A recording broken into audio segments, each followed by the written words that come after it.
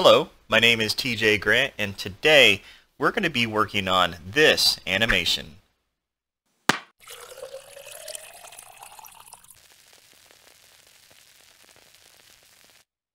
So a couple of the things that we're going to be covering today is first of all we're going to be bringing in this beer mug graphic. We're going to be animating it across the screen. We're going to learn some principles of animation as well. Then we're going to be filling up the mug with some uh, beer and using shape animation and tools inside of Fusion to do that. And then lastly, we're going to be adding in a particle system to make that fun overflowing head of the beer over the glass. Down in the description below, there is a link to the source files. Go ahead and grab those, and when you're ready, let's get started. So starting in a brand new comp, let's add in our beer mug graphic first. So right click, add tool, go to I.O., and then click on loader. And choose the qp underscore beermug.png as our graphic and click open. So let's take a look at this graphic. We can take this node and drag it up into the viewport and we can see what this looks like. All right. So the first thing we want to do to this graphic for right now is under import go ahead and click on the post multiply by alpha. And all that's going to do is smooth out the aliasing on the graphic here. Let's uncheck it so you can see it's very uh, uh, pixelated and that's because the alpha just needs to be multiplied. Okay. So once you do that, let's move on to the next step, which is we're going to attach this to a 3D plane. So right click, add tool, go to 3D, and go to image plane. All right. And let's connect the two. And now if we look at this node in this viewport here, you'll notice that now it's in a 3D environment. So what we want to do is I'm going to animate this, but I want to move the pivot point of this object I'm going to move it down here because the way that I'm going to animate it, I need the pivot right here. And I'll show you why I want it down there when we go to animate this. But for now, let's see how we can move this pivot point to that corner. So in the tab here, you'll notice there is a little transform icon here. So go ahead and click on that.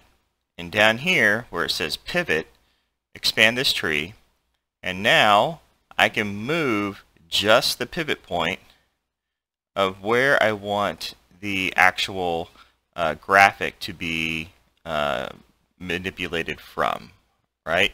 So uh, if you're coming from After Effects, you know that all your layers have anchor points, okay? But in Fusion, it's called a pivot point. So this is exactly what we're going to be doing. So if you look, like right now, if I were to just click on any of these arrows, it's going to move the graphic, okay, from that point. And that's where my rotation is going to happen. But I don't want any of those things. I want to move it to right here. So that's why we're going to move the pivot point. So in order to move these and know how to move the pivot point, I'm going to need to know which one of these axes to move it on. So in all 3D software, pretty much like 99% of them, this transform locator, the red will always represent the x-axis, the green will be the y-axis, and the blue will always be the z-axis or the z-axis. Alright? So knowing that, I'm going to choose the x-axis first, the red one and I'm going to move it in a negative value.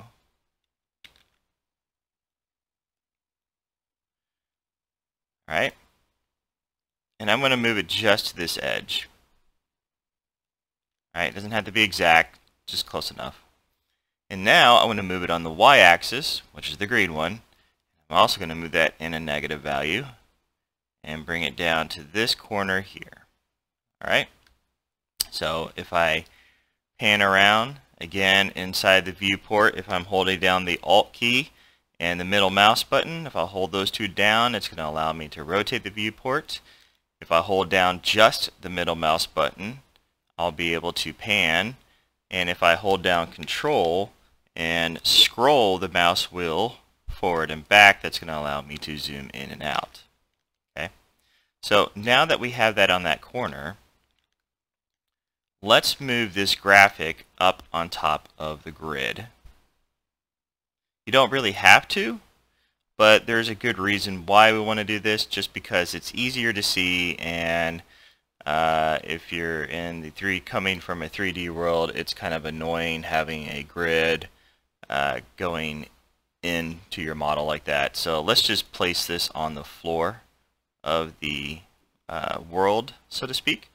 So grabbing that y-axis again, the green one, let's just move it up all right? And it doesn't have to be exact, just put it somewhat on top of the grid. Okay, so the next thing I want to do is I need to get a canvas in here that's going to allow me to uh, place this mug onto the final shot, okay? So the way that we're going to do that is first, I'm going to add another 3D object, which is the Merge 3D now, when you're using 3D objects and you want to use multiple objects and have them in the same scene, you're going to want to merge them all together. And that's exactly what we're going to do here. We're going to take this plane and we're going to put it into the Merge 3D. Now, all that did is it'll look exactly the same, but it's setting it up so that we can add other objects into this scene here. So if we right click and go to Add Tool and go to 3D and go to camera, 3D. Well now, when I put these two together, this is going to enable me to have two objects into this scene that this scene could, I can manipulate it so everything's tied to that or I can come into here and move the camera or move the image plane but it's all in the same scene now. So what we need to do now is we're going to move this 3D environment into a 2D canvas. And we're going to do that by adding a render node. So go to right click, go to add tool, 3D, and go to render 3D. And let's connect these two. And let's drag the render 3D node into this viewport over here. And you will see absolutely nothing. And the reason for that is because the camera is clipping off this graphic and it's sitting right at the origin point. Okay, because the camera is going to be what is used to frame the graphics from this 3D environment so that the renderer can see what it needs to render out. So let's take the camera, make sure this node is selected, take your camera, and on the z-axis, Remember, I'm trying to move this away. Click, and let's move it. Okay? You'll notice that now we can start to see this inside this renderer node. Okay, and I'm going to move this up. And I'll move it back a little bit more. And that's it. So now that we've got our basic scene set up, we are ready to begin animating this mug. So now we're ready to animate this mug. And the idea is that we're going to move the mug from off this side of the screen and into the center. But the way that we're going to do it is we're going to do it rather than going from point A to point B, we're going to apply a couple principles of animation. Now, typically when you see animations that are cartoony like this, you'll notice that a lot of times they will move from here and then it'll go possibly pretty fast and then begin to ultimately slow down as what's known as an ease out. Okay, you're easing the motion to the stop. But instead of doing that, what we're going to apply is a overlapping motion and an anticipation. Okay, so those are two more principles of animation. The ease in and ease out the anticipation, and the overlapping motion.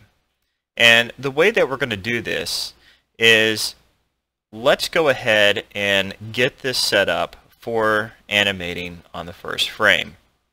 So with the x-axis, or the red arrow, we're going to move it off to the side. And what we're going to do inside of the image plane node is click on your transform tab. And in Fusion, you can either set a keyframe by right-clicking on this X offset and clicking on animate, or if you'll notice this light gray bar right here, you could double click it and when it turns green, that's telling Fusion I'm going to start animating this property.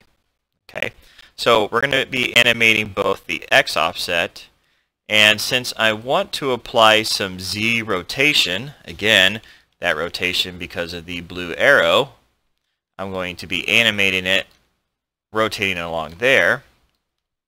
I can come over to the Z rotation property, right click on the bar, and click on animate.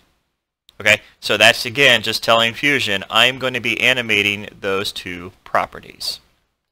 Okay, so now that we're on frame 0, Fusion has set a keyframe on both of these values. So working with just the X offset, let's go over to, let's just start with frame 20 because we're going to be adjusting these values later. But for right now, when you're animating, you're just trying to get the overall motion and we'll work on the, the feeling and the timing and the rhythm after we've kind of blocked everything out. Okay? So we're going to take the x-axis and we're just going to move it over into the center of this viewport. Okay? And if you look, I'm going to scrub this time frame over just a little bit. And you'll notice if you can see it, there's a green bar here and now a green bar here. That's Fusion letting you know that there are two keyframes now. Okay? So if we look at it, we'll play it. It's not going to play in real time because it's got to uh, put everything into the RAM. So go back and let's play it in real time. Great. It moved from point A to point B. And it's really boring. So this is how we're going to add life to this inanimate object. And we're going to do that using the spline editor. So come over to your tab over here and click on spline. Now you'll notice there is nothing there and that's because I have nothing selected over here. But you'll notice that my image plane 3D is shown here and the X offset which refers to this value that we're animating, and the Z rotation, which also refers to this value, are both here. So if you click on this, it's going to show you both. Okay, you'll notice that the red, or the X offset, is in red, and the Z rotation is in purple. Okay, and there's nothing value there. So let's just uncheck the Z rotation and let's just focus on the X offset. Now, if you are not familiar with a spline editor or a graph editor, this is one of the most powerful tools for an animator. Working in uh, motion graphics, working in 3D, uh, working pretty much in the digital realm. Okay, uh, if you're doing him by you know frame by frame hand drawn animations uh, it's going to be a little bit different. But since we're working in this format the spline editor is the most powerful thing that you really need to learn okay? And the way it works is that you're going to have full control over your movement all right? The spline editor is going to help you with your arcs.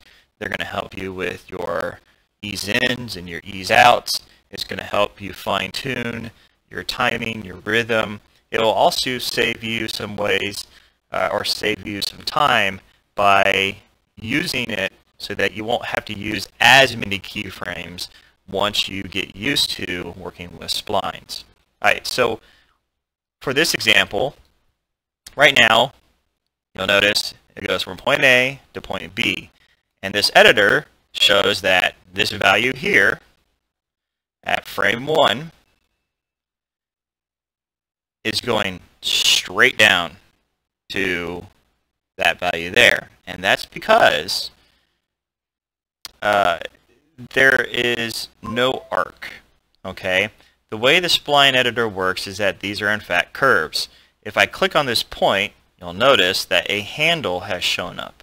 And if I move the handle, now I can start to mess with the speed by which the object is going to move from this point to this keyframe. All right, from this keyframe to this keyframe. Okay.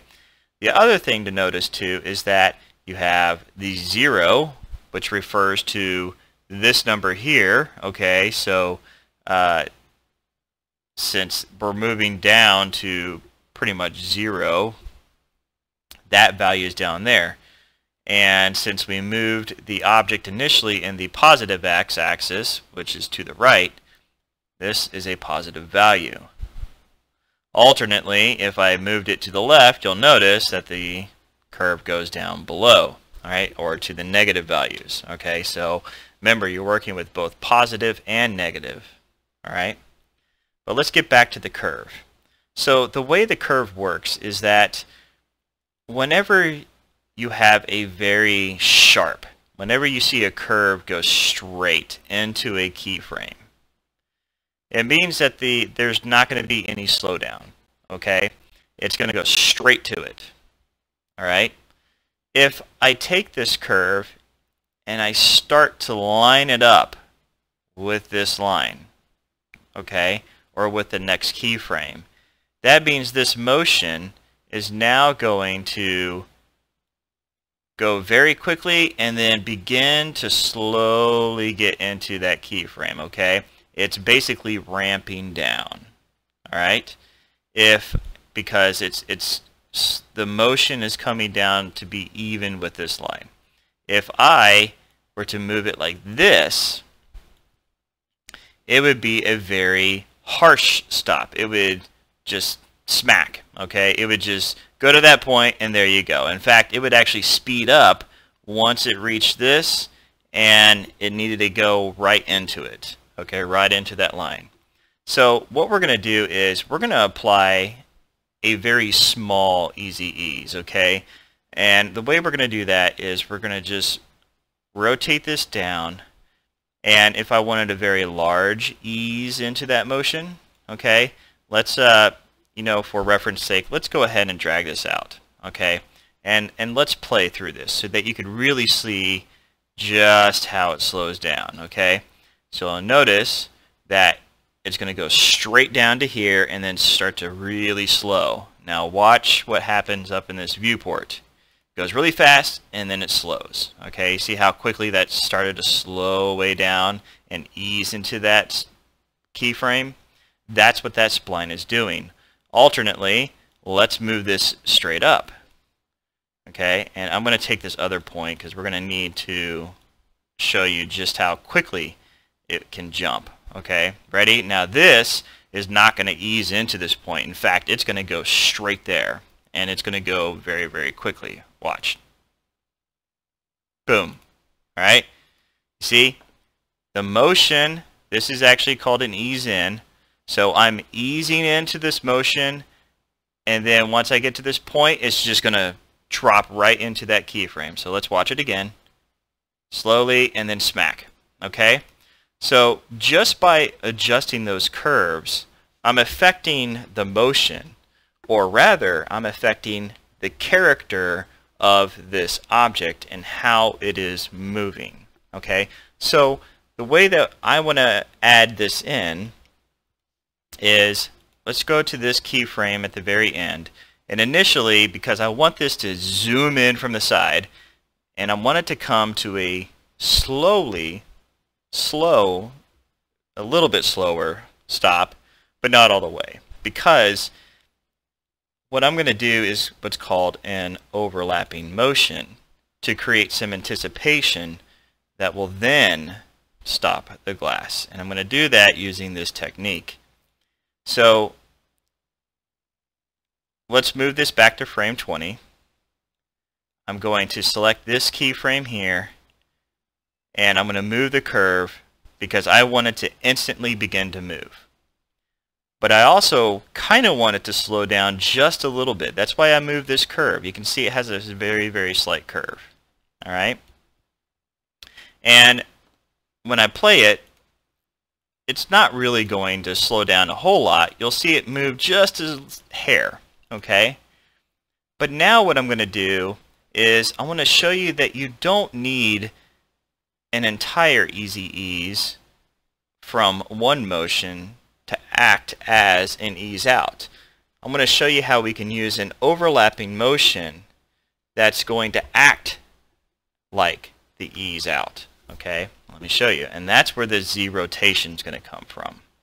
So let's go ahead and click on the rotation.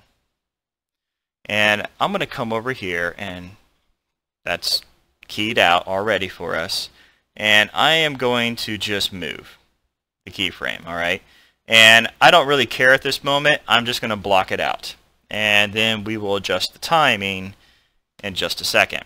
So I'm going to have this begin to rotate forward. Okay, the idea is that the momentum of this coming in super fast is going to act as though this cup is going to fall over. And then we're going to create some anticipation all right, we're anticipating that this is going to fall over, but we're really not going to have it fall over. But we we want to add just that little that little extra little hint. Okay, so we're going to rotate this just a little bit more. I mean, just a very small value. Okay, and then all right, and then we're going to move five more frames over and we're going to set this back to zero to make it flat. All right, because I, I want it to really anticipate like it's going to fall back over or fall over and then smack back. Okay, and that's going to help add some extra character. All right, but let's take a look and see what this is doing. Okay, because when we go to look at it, it's not going to look very pretty. All right. And that's because everything is linear on this. Okay, there's no smoothing of the curves. There's there's nothing. All right, and the timing is also not where we want it. But let's just take a look at it and see what we have. Hmm. Okay, it doesn't look super fantastic, right? It's it's kind of meh. It's got a little extra life, but this is where the fine tuning comes into play. Now, inside the graph editor, if you hold down the middle mouse button, you can pan. And if you hold down the control key and you move your mouse wheel, you'll zoom in and out. Now I'm going to zoom in just so that I can look at these keyframes here and then I can look at this curve. So the main thing I want to do is I don't want it to start rotating immediately. Okay, I know that. Okay, I want it to come in and then probably right about here uh, that's when I want the rotation to really begin.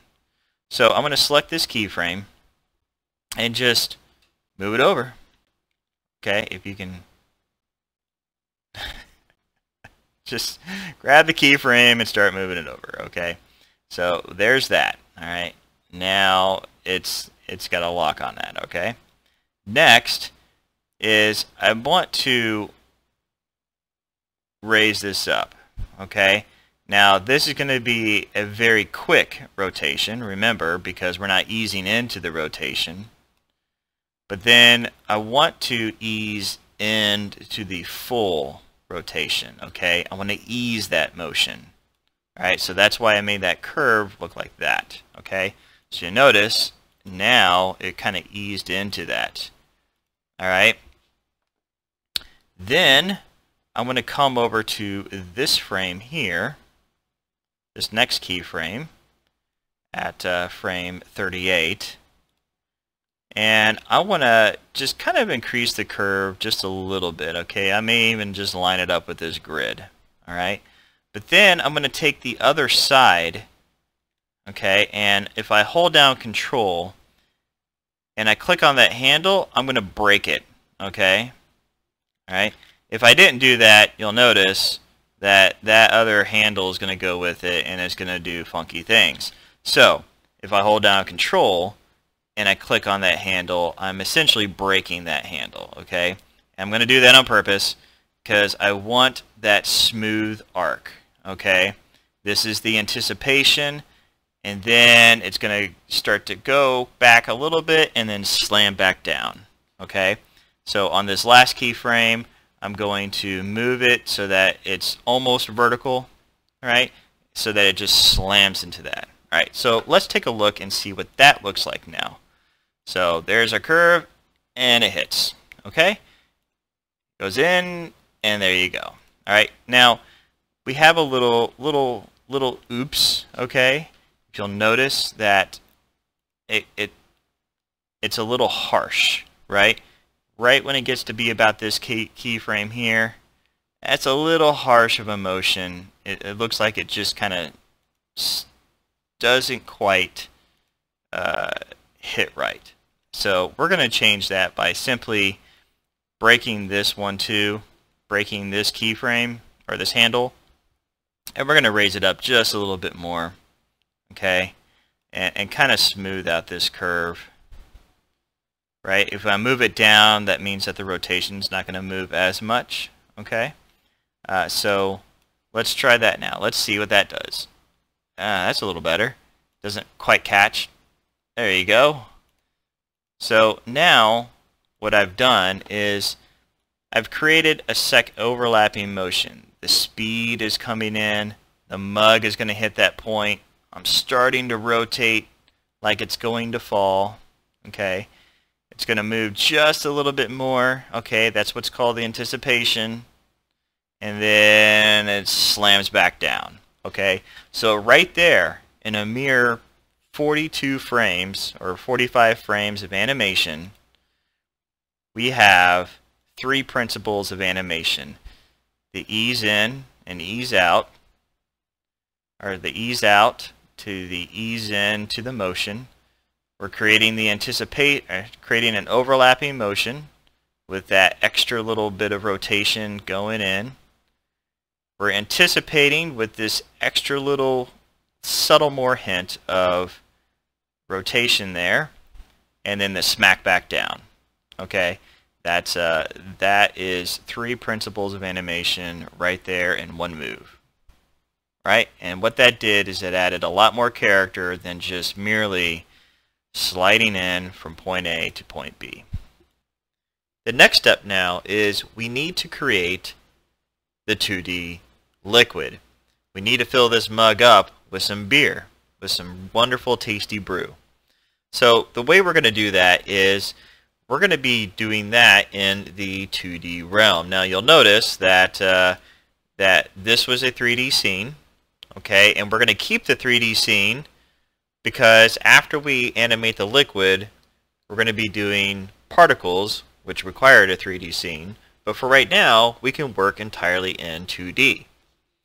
So the way that we're going to do this is I need to make a background and have a mask control the points to animate the liquid. Okay?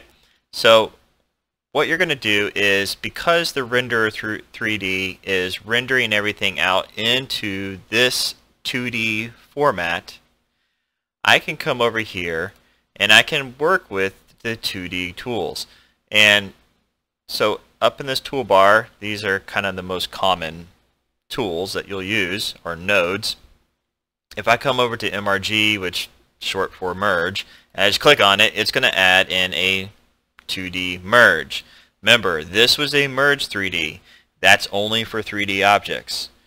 When you're working with the merge, the normal merge, which is not 3D, that means you're using it with 2D functions, okay? So, because the render is 2D, I'm going to merge it into this scene. But I need something else to merge into that. And that's going to be this background node, okay? So if you're new to Fusion, the yellow input is your background. In fact, you can just hover your mouse over it and go, oh, that's the background. And then if you hover over the green, That's the foreground. Okay, so just like a normal layer, whatever goes on the bottom layer or the background, that's going to be the background. Whatever is on the foreground, well, you know, it's on the foreground. So I'm going to drag the background into the yellow input, and I'm going to grab this scene now, this renderer scene, into the green node. Alright, because I want this on top, and I want the background to be the background. Now, you'll notice nothing changed. That's because we need to see this node. So, since we're going to be working in the 2D realm, I can take this merge node now, drag it up into the viewport, and there you go. Now I have this, these two things merged together, the cup and the background. So click on the background node, I can choose a color, and this is since this is going to be essentially beer, um, and I personally like darker beer. Let's make it a darker uh, brown color. Okay. Uh, let's uh, not go quite uh, Guinness Draught or Stout. Let's, uh, hmm, what do you think? A good amber lager? Yeah, that sounds about good. Okay, so uh, let's just go ahead and click OK. And you'll notice that now the background's all brown. All right.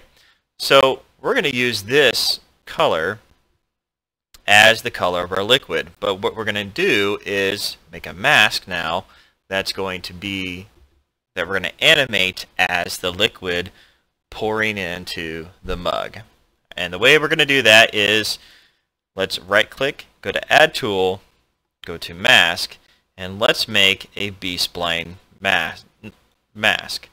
So with this node selected, let's take the output, plug it into the blue, or you could just drag it on top of the node of the background, and it goes away.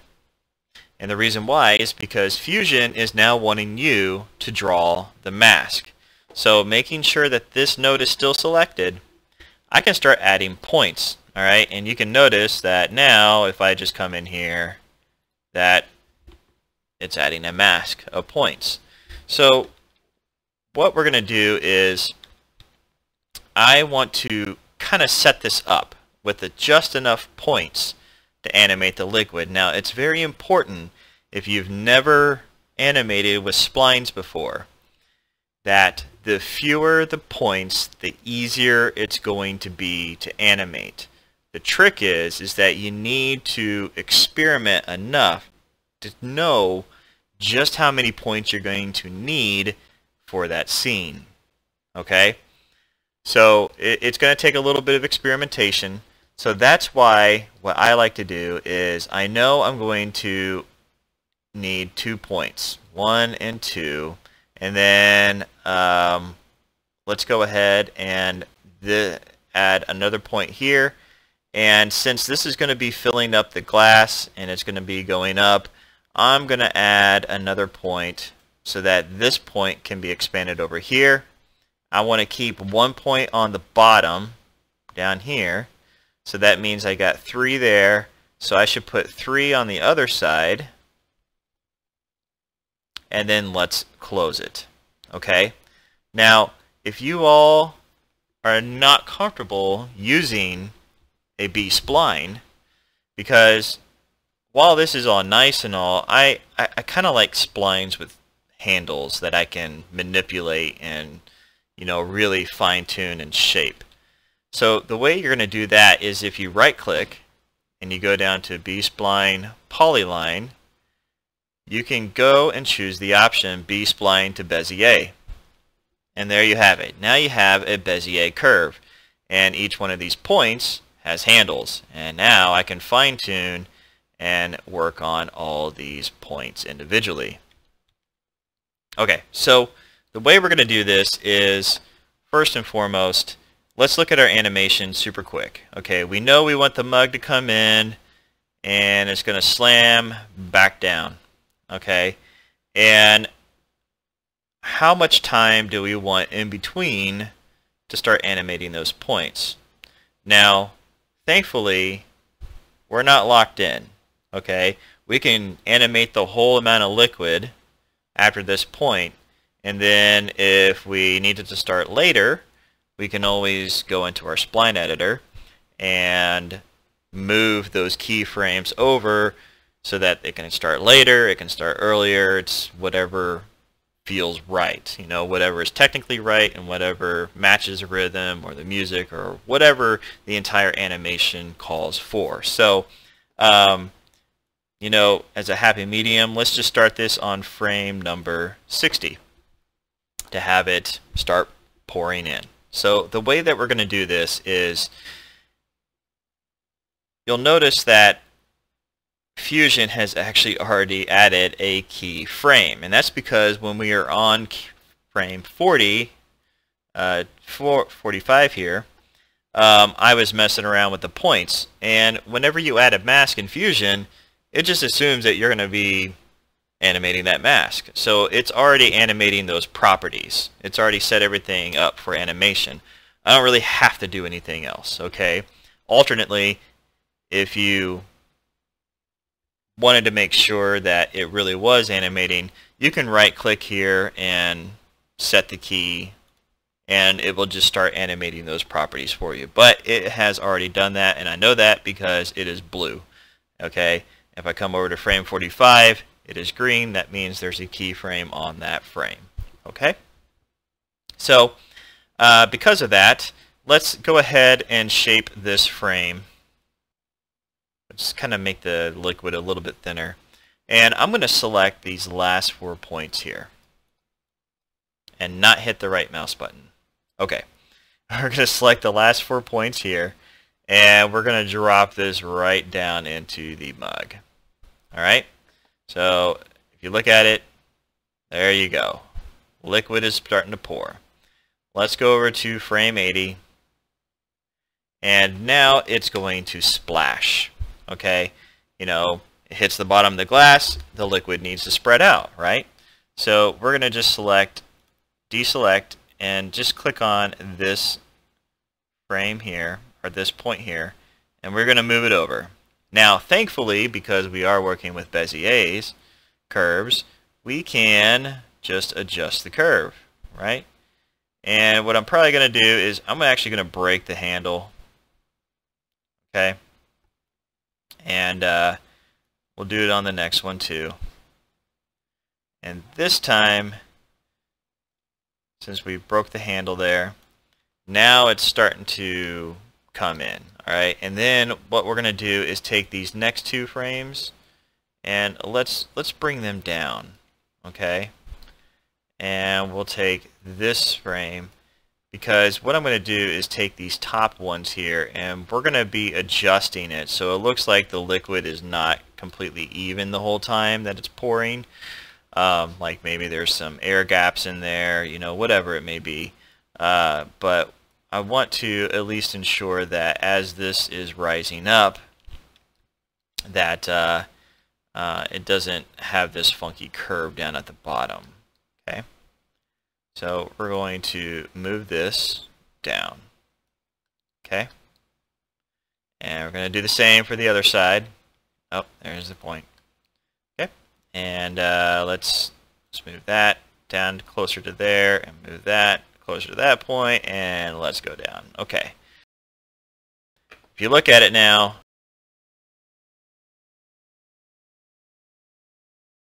so let's let's adjust this curve a little bit. Uh, this is where some fine-tuning comes from, but we'll worry about that in just a few. Okay, let's keep going because we really want to start filling up this glass, okay, or this mug. So the next thing is, is obviously the liquid has to rise up, okay?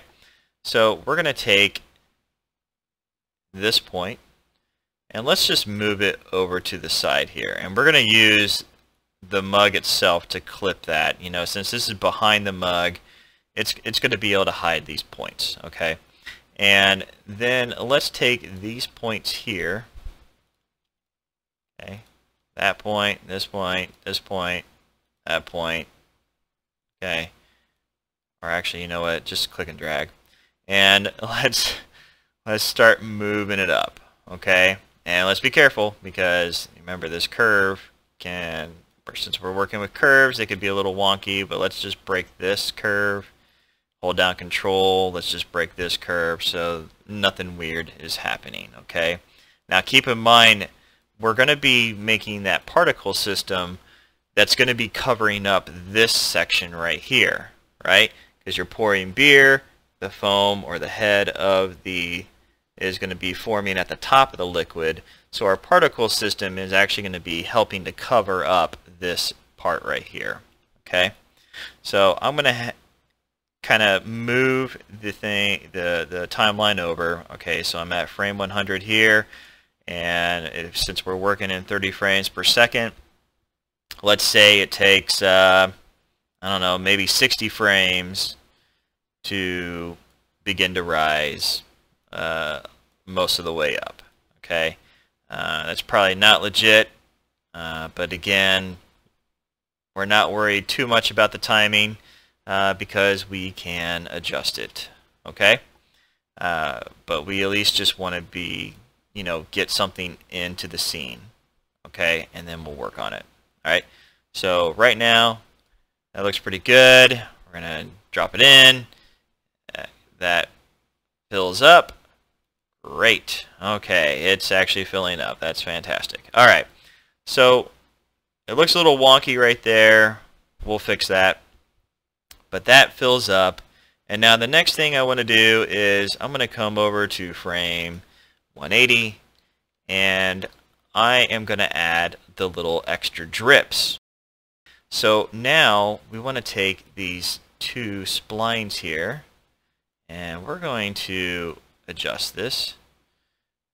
But what I'm going to do is we're going to add some drops. And the way we're going to do that is go ahead and just pinch. Just, just pinch the spline, okay? And, um, you know, it, we can add in some extra drops later on to the animation. But for right now, this is a good little kind of a cheat because the motion is going to be going so fast anyways, it'll kind of look like drops, you know, like the extra little drops of, of beer that, that continue to pour out, you know. So we'll just kind of clip it like that, and then we'll go back over maybe 10 more frames, and let's just bring this down all the way so that it's sitting on top. Let's adjust this curve. Okay. All right. And now, let's move this over. Okay, so now the entire liquid is inside of the beer mug. So right now, if we look at our animation, it really just feels like it's chocolate syrup. You know, it really doesn't feel like it has the same viscosity properties as beer. Okay, it just looks like a thick syrup. So since we've blocked in what we want this to do now, let's go ahead and start to fine tune this. Now we're going to fine tune it using none other than the graph editor. So let's go ahead and click on the spline editor and then over in your options in your list here uh, go ahead and click on the B spline because that's what we were animating on and you'll see that there is nothing here and all you have to do is just start to zoom out. So hold down control, move your mouse wheel, and you can start to zoom out. And now you'll see that uh, our splines are here. So the first thing to cover here is, you know, every frame that we have done a shape animation on is represented here. So what I like to do is you'll notice that all of these are very linear, right? Straight line, straight line, straight line. So what we could do is select all of them. And then if you come up to your options here, this one will straighten out the curves. This one will smooth it. Okay. This will do a step in. Okay. You'll notice that it'll stair step it. And what that means is that if you look at the animation, you'll see nothing because until it gets to this point, now it's going to pop in. And then the next one, that's going to pop, and the next one's going to pop, and the next one's going to pop.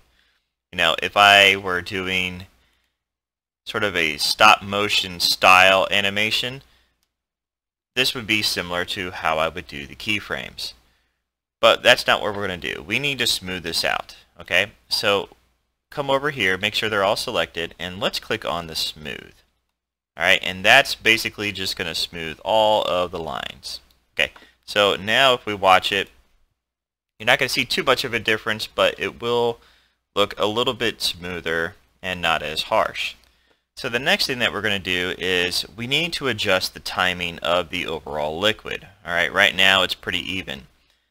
And the way that we're going to do that is when you are working with a shape animation, such as the B-spline, you'll notice that in Fusion, I can move all of these left and right, but I can't move them up and down. Okay, and that's because we're not working with values such as height or or width. Okay, um, we're not moving the position of the actual shape itself. What we're doing is morphing the points. And so Fusion is just recording the shape of the points, not their height values or their width values, just the shape.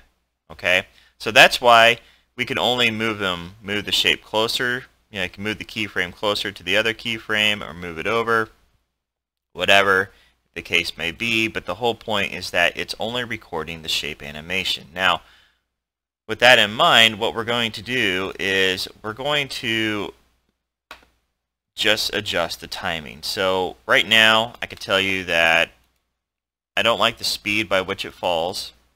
Okay.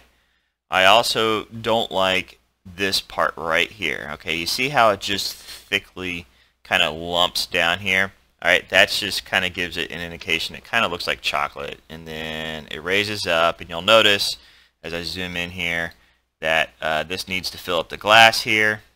Okay, and then overall the speed of everything really just needs to be a little bit tighter. Okay, so starting with the first keyframes, I'm actually going to go to this keyframe here, and I'm just going to move it forward. Alright, I'm going to move it closer to the other keyframe. Alright, because I, I really want it to come down fairly quick. And the other thing too is that since I'm working with curves, I can adjust my curves as needed. Alright, and so let's uh, let's do some scrubbing, okay? Remember, when you're doing animation, you're going to scrub through the timeline a lot, okay? Alright, that feels a little bit better. I like the speed by which it comes down now. And so now we need to fix a couple of points here. So what I'm going to do is let's go ahead and keep moving the keyframes towards one another. So we're going to move this here. Okay. And then what we need to do is adjust this liquid that's coming down.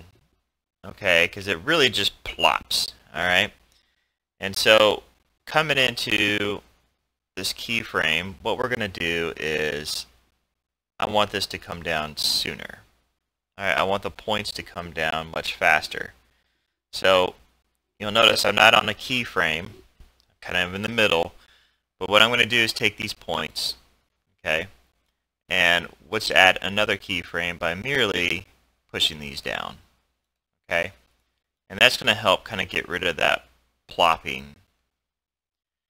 Alright, and then what I want to do is I'm going to go ahead and move these over. Let's, let's check the animation. Uh, that looks much better now. And now it's spreading out. But you know what? Let's, let's help this along a little bit more. Let's move this point. Let's move this point. And let's get rid of this mound shape. So we're going to do that by holding down control and we're going to break that handle. Okay. And this is kind of a funky shape too, so let's just adjust the handles on this. Alright, and now let's take a look at it. There we go, that looks a lot better. Alright, let's watch it in real time. Let's just hit spacebar and play. Alright, remember if you hit spacebar in Fusion, it'll play the timeline. Alright. Alright. That's looking a lot better. But now we have to deal with this open space. Alright, and the easiest way to do that is just go to the keyframe that you don't have, where you see that, and let's just adjust the points. Alright, we need to get them over faster. Alright, so you'll notice that my handle is moving both sides, so let's just break that by holding down control, and again, let's, let's just even this up. Okay, let's do it on the other side over here. Let's just move this over, and I'm going to break this because I want to make sure that it's pointing up. Okay. So I don't get any weird curves here. Let's do it to that. Alright. So let's check out uh, what this is doing now. So let's just hit spacebar. Alright, it's taking a while to get up there, but let's check it. Yeah, that's looking better. Okay. And one more time for good measure. Okay, so now that we've gotten that part, this needs to fill up faster. And again, that's because this keyframe from here to here is quite long. So let's go ahead and bring these back closer to one another, all right, because I'm speeding up that time. All right, let's take a look. Okay, so I like the timing a little bit better. But you'll notice that it, it, it kind of uh, pauses right there.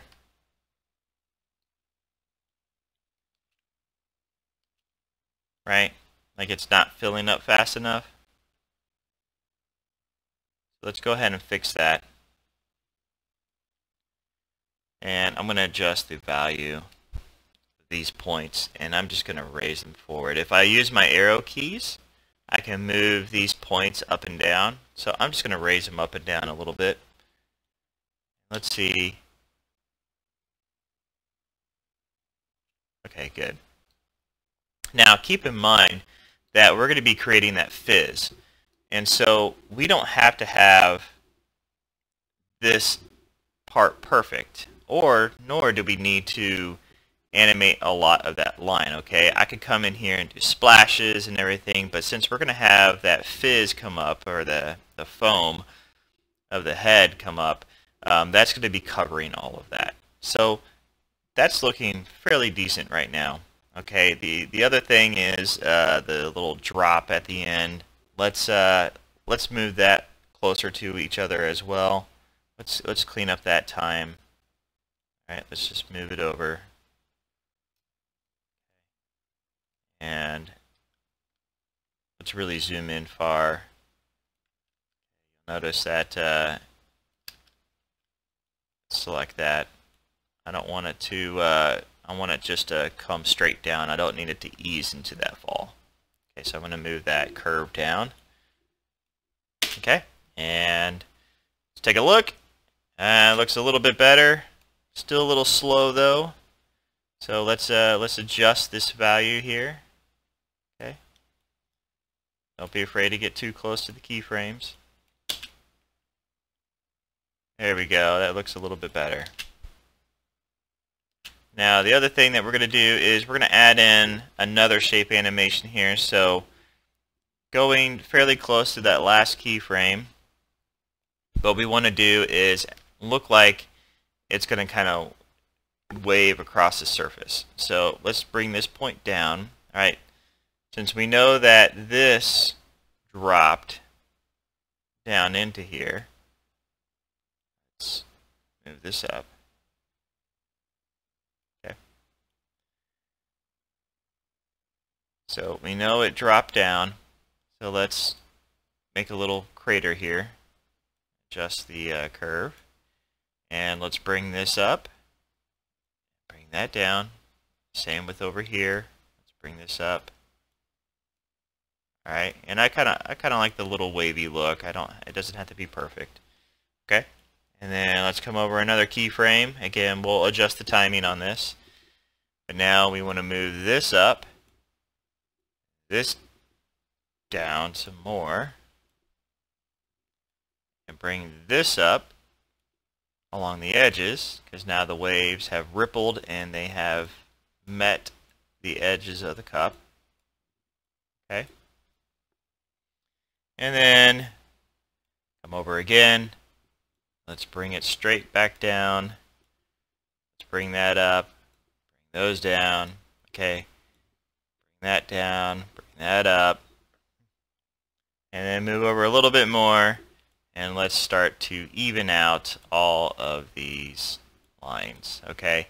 Remember, we're kind of giving the subtle hint of liquid. We're not actually doing accurate liquid animation. This is uh, completely stylized and also there's still going to be some foaming at the top here uh, with that head and the particles spilling over. So you're not going to see a whole lot of this, but just in case the uh, the particle system has gaps in it from where it's shooting all those particles out, as long as we see some motion behind there, it'll actually look uh, a little more like a complete animation. So let's just take a look at what we created there. Okay, now that we have our liquid animated, let's work on the last part of this animation, and that's going to be creating these particle systems. So what I'm going to do is I'm going to rearrange this flow graph real quick. I'm going to go ahead and move these over, okay, and then I'm going to move these over because I need to tie in the particle system into these, this 3D scene. Okay, and the way we're going to do this is first and foremost, let's go ahead and create a particle emitter. So if you right click, go to add tool, go to particles, and go to P emitter. Alright? And then when you're working with particles in Fusion, you're going to need a particle renderer. So let's add a tool, go to particles, and go to P render. All right. Let's connect these two nodes together. And you'll see that now I have a particle system. But in it is in 3D, so we need to merge it with the rest of the scene. So we're going to tie it right into this merge 3D. So let's go ahead and drop that in there. Okay. You'll notice now it's rendering out these particles as points. Okay. So that's step number one. The next thing that we need to do is we're going to be using a bubble texture bitmap for these particles. So clicking on your P emitter node, go over to Style, and under Style, click on Bitmap. And watch what happens down there.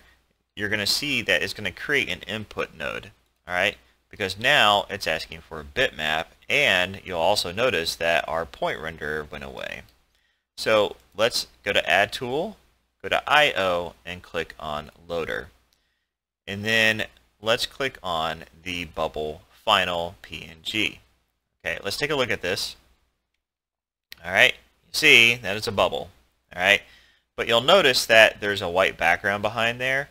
Now I know for certain that this does have a transparency so in whenever you bring in a PNG into Fusion, it's go go ahead and click on import under this node and make sure that this post multiply by alpha is selected and then that way you'll be able to see your transparency okay little handy tip now let's connect that into the P emitter and now you'll see that it is in fact spawning a bunch of bubbles. Okay? So the next thing we need to do is we need to go ahead and style some of the emitter properties. Okay? We're going to do this in several phases. Okay, so the first step is we need to change the region. So let's let's move this over and to make this simpler and easier for us to see what we're doing, take the three merge 3D node and move it into here. Okay, so that way now we see all of our elements, or the most important element, which is the mug. So under the P emitter node, go to region and change the region from sphere to rectangle. Okay? So you notice that it created a rectangle but what I want to do is I, I want the z-axis, or the blue, to be pointing up because I want it to emit this way. Alright, because when I change the width, and the height, you know, I want it to be wider because as I change the width, I, I that's that's nice that it's doing that, but I, I really want that plane to be going this horizontally instead of vertically. So the way we're going to do that is go over to your X rotation and because I like to have things clean, I like to have all my axes continually pointing in a positive direction, just rotate the x-axis negative 90 and that's going to allow me to have my z-axis or z-axis pointing straight up. Next we need to move this offset, okay? Because I need it to line up in the middle of the mug. So taking your x-axis, we can actually just move it. And I want it kind of roughly in the center of the mug. Okay. Then under the width, let's go ahead and apply some width to that. All right.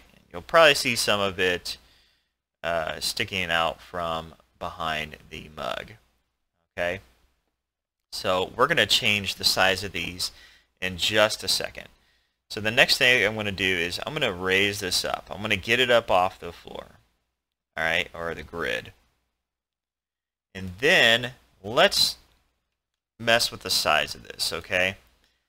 So under your size controls in the style tab, let's change the overall size of this down, okay? Because what, we, what we're trying to establish here is the overall size, the maximum size that we want these to be. Okay? So going with that, we want to make sure that these are also behind here. Okay?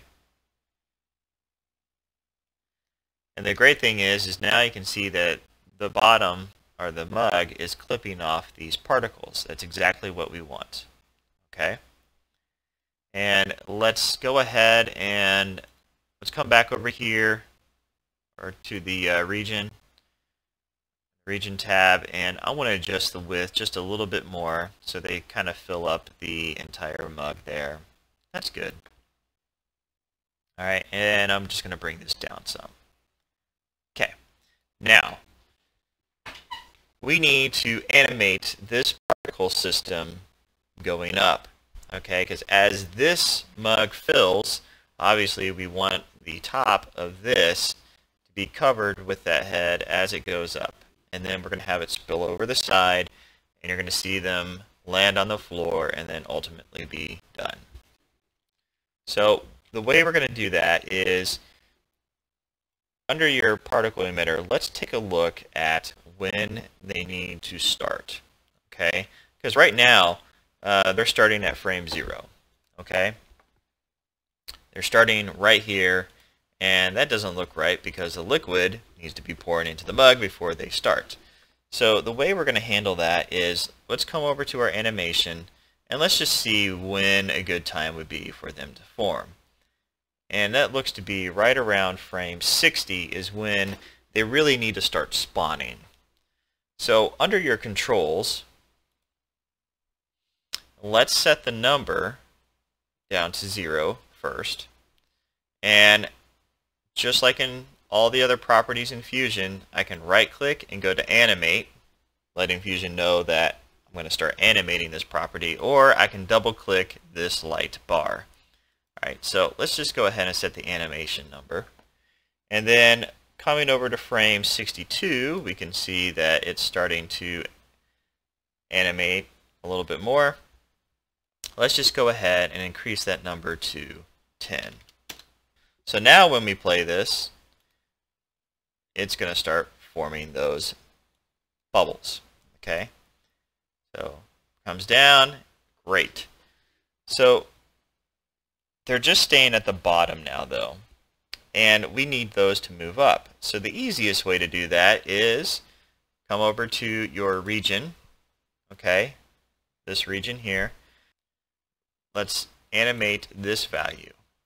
And I'm going to jump ahead here real quick because one of the things I'm going to do is not only is this going to come up, but when I get to the top here, I'm going to want the bubbles to come up and go over the top of this.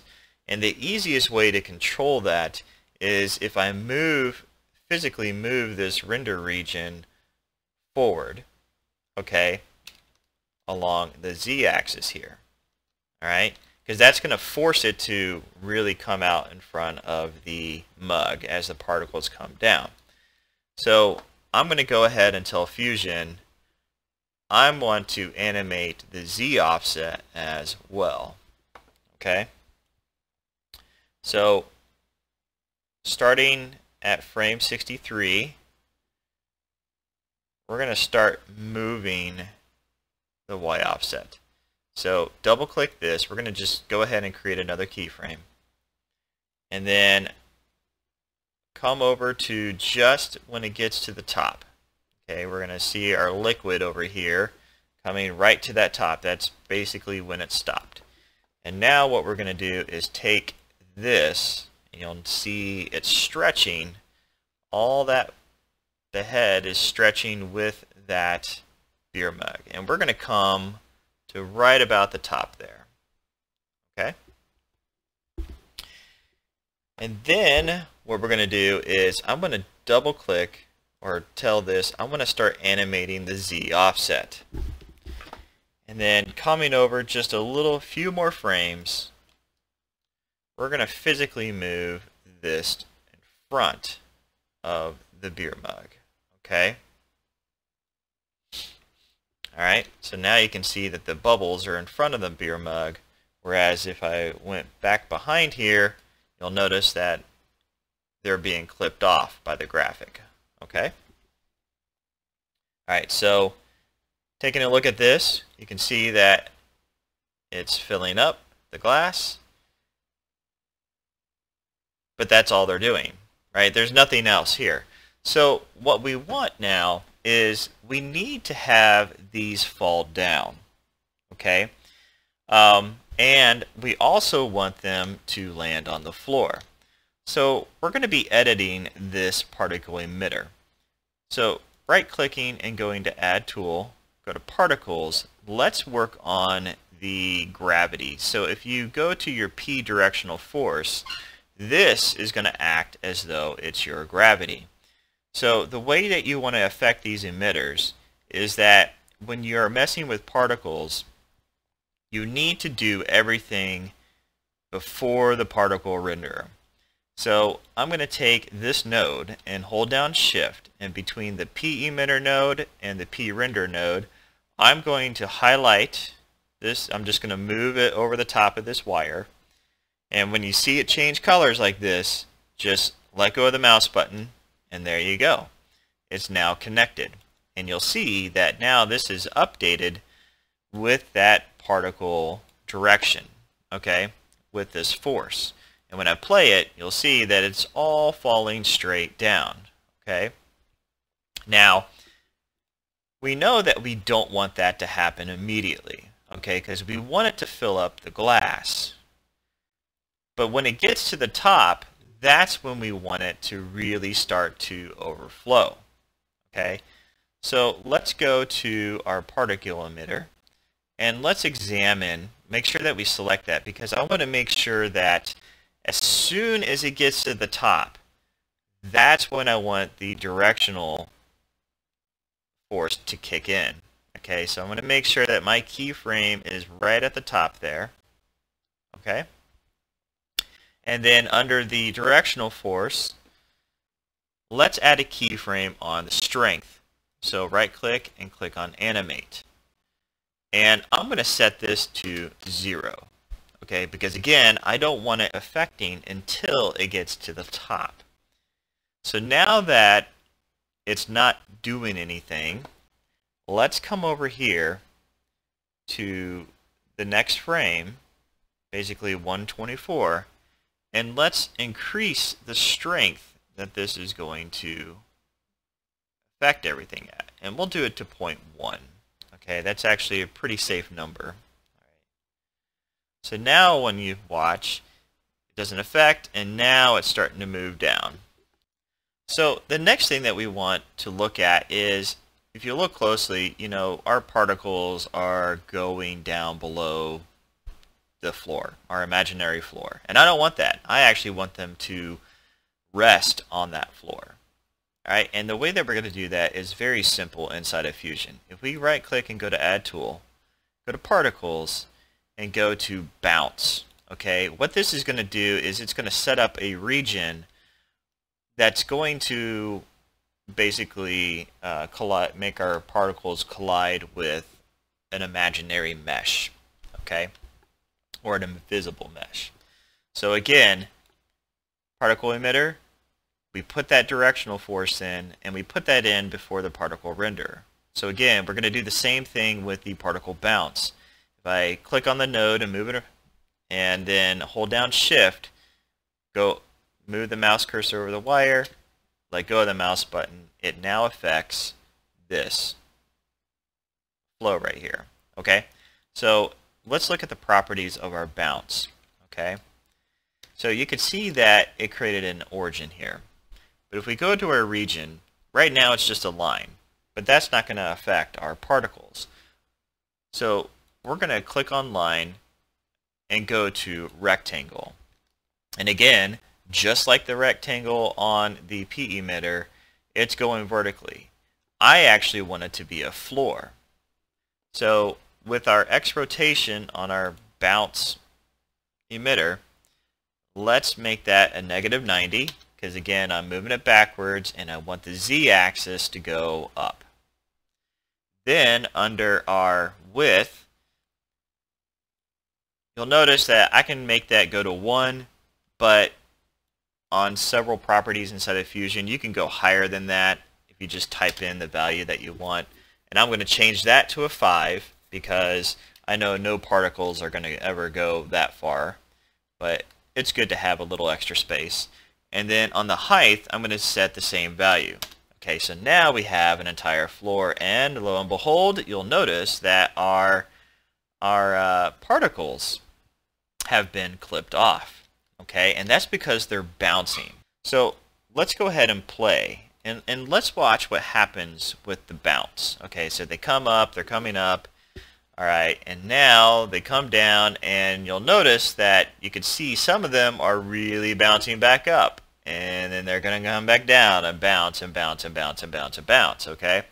So we don't want that, okay? We want the, the foam to hit and not bounce because it just needs to move away, right? Because there's no elasticity to the bounce itself or to the foam itself. So under the bounce emitter, go to controls. And under elasticity just move that down to zero. And then we can increase the roughness. You know this is this is just going to when when they finally hit that floor how far are they going to roll away from the origin point okay?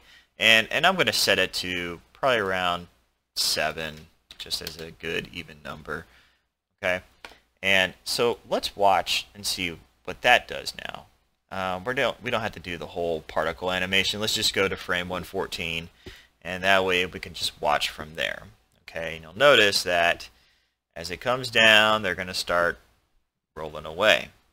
Okay, so so far this is not too shabby. Okay, this is not too bad, but we have a problem right? We don't want the bubbles to be completely that big, right? And we also don't want them filling up this much inside the glass, okay? Uh, so let's style those. So clicking on the P emitter, I know that foam doesn't immediately just start out super huge, right? It has smaller bubbles to larger bubbles and then small again. So the way we're going to do that is clicking on the P emitter. Let's go to the controls. And then, or sorry, the style tab. And under your size controls, there is a graph editor down here. Okay? And so what this is, is just like in your spline editor, you can add points and you can manipulate those points with handles and curves. So I'm going to click in the middle of this line and to add a point. Okay, and then I'm going to move this up just a smidge. Okay, that's going to actually increase the size of the bubbles, right? But I don't want to increase them too much. I just want there to be a, a point there so that when I come over to the beginning of the life, okay, as when they're starting to spawn, I want them to be zero, okay? And you'll notice that now they're starting out very, very small, okay? And the same thing, over the course of their life, I want them to disappear, okay? So now, if I click on this point and move this down, they're going to get smaller too as they fade away and die. Okay, you can see that you can see them getting smaller as they extend out. Okay. So the next thing that we can do is let's adjust the curve. Okay. All right, so we can bring this down, and just like what we learned about in the graph editor, when we add a curve like this, it's going to ease in to the size of their life. And the same way over here is I'm going to ease in to the size of which they are born. Actually, let's uh, let's change that. I want them to be fairly fairly quick. And then at the top here, let's uh, ease to the size of them. And then we're going to ease them to slowly then begin to die off. Okay? So let's take a look at that animation. All right, started at the very beginning. You'll notice that, yeah, they're starting to fill up, right? But they're, they're also staying there for a fairly long time. And there's also not a lot of them, okay? We, we want a lot of stuff, okay? So let's I think these are too small in the very beginning. Let's just increase the size by which they are born. Okay? Alright, that's going to help out quite a bit. But the next thing that we want to do is they really are lasting a long time inside of here. Okay? And that's because their lifespan is too long. This is the number of frames by which they are living. So let's change that to, let's say, 60. Okay. You'll notice now that they are, when they come up, they're going to start fading off sooner rather than later. And now they're going to drop back down. Okay. So we need to handle a couple things here. One is that we need a lot more particles. Okay, so the original number that we set needs to be higher. Okay, so in our case, let's set that to 25 at this keyframe.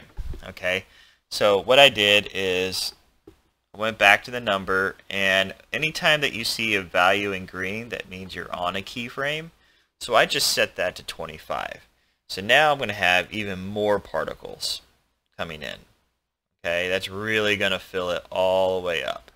Okay. But now what I want to do is I want to create some velocity, okay, in these particles, okay? And I also want to set set it so that they kind of expand out, okay? So the way we're going to do that is once we get to the top, once the emitter gets to the very top, let's go to our velocity controls. And let's set this velocity to 0.05 all right? I want them to move up okay but you'll notice that they just kind of moved on the x-axis okay so one of helpful tips is inside of Fusion here as soon as you start messing with the velocity it's going to be doing it along the x-axis but we want to change that. And we can do that by setting the angle. Okay, so in our case, I want them shooting straight up. If this is 0 and we work our angles, the angle is going to go up like this, so we need to set that to 90. Okay? So now that they're at 90, let's take a look at that animation. And You'll notice that now they're pushing up above the glass, which I don't mind. I actually don't mind that. It's it's adding a little bit of extra uh, life to the animation that way. And it looks like this, there's a lot going on in there. Okay, so the next thing that we're going to do is I want some variance on that angle though. All right, I don't want them just coming up and then going straight back down. Since we're going for a little bit more of a style here, I want some of these particles, so I want some of them coming out this way, I want some of them going out this way, I want some of them going down. And so we can achieve that by going to the angle variance. And if you click on your mouse button and you drag, you'll notice that I'm starting to get some variance in that angle. Okay? And let's set that to about 85, right? Okay, good. So let's come back. And you'll notice that it's also, I only want it to when they start to get up to there. Okay? As soon as they get to the top, that's when I want that angle variance to happen. Okay, so let's come over to our keyframe here. Because our emitter came up, it came up and it reached 127. Okay, so let's add a keyframe at that angle variance. Let's double click that. Let's set that to zero. Okay, because we don't want that angle to affect as it's going up. We only want it to affect it when it gets to the top. So at 127, we set the angle variance to 0. Let's move the keyframes over to probably about 135. And let's set that now to 85. Okay? And what that's going to do is start to add in that variance over time there. Okay? Now you'll see that our particles are going over the top of that. But they're not ending, right? Um, so the next thing that we got to do is we want the particles to end. So there you go. That's building up and it's coming over the top. But now we got to get rid of them. Okay? Uh, they're, they're lasting way too long. So we want them to spill over and then right around frame 180. Okay. Let's go to the number value again. And let's set that number, let's set a keyframe on that number. Okay, we're going to double click that. Okay, and then at frame 183, let's just set that to 0. Okay. Now, let's play that.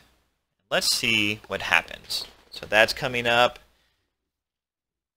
spills over the edge, and then it's going to stop emitting, and the rest of them are going to go away. Okay, let's take a look and see that in real time. Okay, coming up in real time, spilling over the edge, yeah, I like that. I can live with that.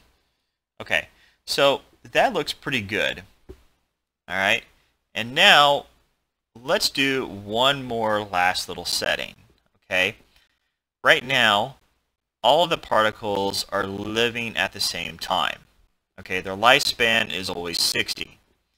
But if we want to add a little bit more variation, we can change the variance of that lifespan. Okay, so if we increase this value, some of the particles will live longer, some of them will live shorter. You know, it's just going to add enough variance inside of there to kind of make it a little bit feel a little bit more random. Okay, So just set that, you know, you can play with that value. This really is, you know, the point in the animation where you're just kind of refining things and trying to really just, you know, use artistic license at this point. So let's just go ahead and play that and let's just take a look and see what it's doing. You know, I'm actually pretty happy with that. You know, this uh, this looks pretty good. You know, we can watch this in real time here. And now we have a tasty mug of brew. So the last step in this animation is we're going to create a background. Alright, because right now it's all transparent back here and we just need to have it as a background. So what we could do is right click, go to add tool, go to creator, and let's create a background. Alright.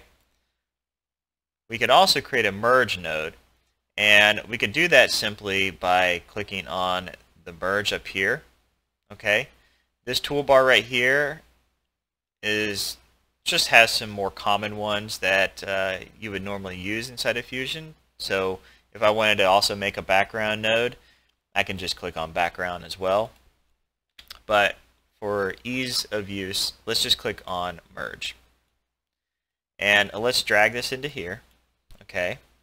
Now, we need to merge this scene into this scene.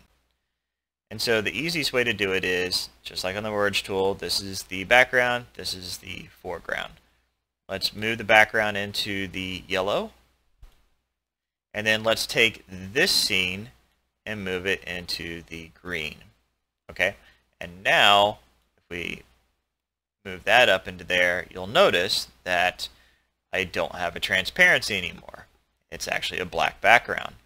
So clicking on this background node, let's change the color, right? We can pick a fun color here. We can make that orange, or we can also set gradients, horizontal, vertical, four colored gradients, you know, whatever it may be, okay? So in our case, um, let's just make it easy for us. Let's uh, click on the vertical tab. So nice little gradient. And there you have it.